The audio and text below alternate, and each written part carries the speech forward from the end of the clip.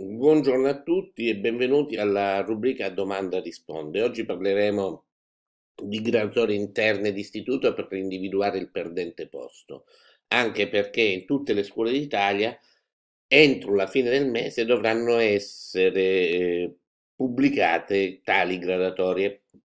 Domanda numero 1. Nelle graduatorie interne d'istituto per l'individuazione dei docenti perdenti posto c'è sempre qualcuno che sta in coda nonostante abbia un punteggio maggiore di altri. Come mai?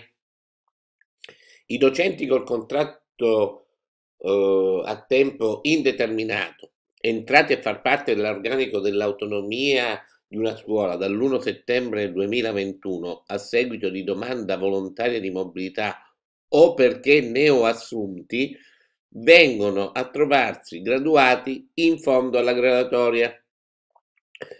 Dopo i docenti già titolari nell'organico della scuola prima dell'1 settembre 2021 e dopo chi a causa di una precedenza non viene graduato.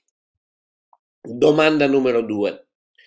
Un docente con la precedenza per assistere il genitore gravemente disabile può essere escluso dalla graduatoria interna anche se il genitore vive in altro comune della stessa provincia dove il docente è titolare? Sì, può essere escluso dalla graduatoria interna a condizione che abbia presentato la domanda volontaria di trasferimento entro il 15 marzo 2022 per il comune in cui è domiciliato il genitore, l'assistito, ovvero in caso di mancanza di sedi esprimibili nella residenza, nel comune di residenza del padre, per il comune vicinore. Allora in tal caso viene escluso dalla gradatoria interna d'istituto. Domanda numero 3. La gradatoria interna dei docenti di sostegno si compila come un'unica gradatoria o vanno fatte più gradatorie in funzione alla tipologia di disabilità?